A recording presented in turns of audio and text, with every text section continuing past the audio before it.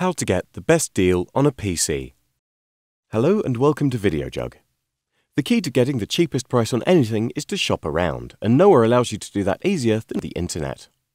Step 1. Work out what you need. First, work out what you'll need from your computer.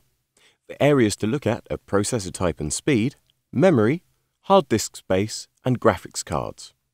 You may also want to consider how big a monitor you'd like, as these are usually bundled in with the new PC. For more information about what to look for when buying a computer, please watch our Ask the Expert film, Buying a Computer. The internet allows you to compare prices without leaving your home. We're going to look at the three main routes for buying a computer online the high street retailer with a website, the specialist retailer, and online auction sites.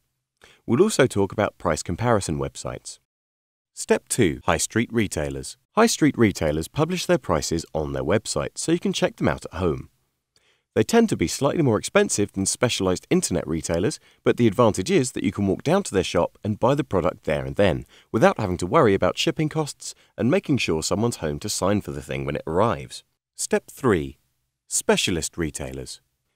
The second place to try are specialist retailers. The most famous online PC stockist is Dell, but you can also find computers on popular online shops like Amazon, and manufacturers like Sony sell their computers online. Be aware that although online stores aren't limited by floor space, they may only stock computers from certain manufacturers for commercial reasons, so your choice may be limited.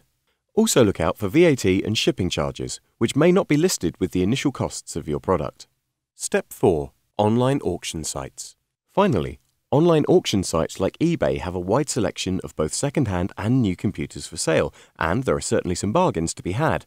But despite the measures online auction sites have in place to protect buyers, it can still be risky buying devices as complex as computers second-hand.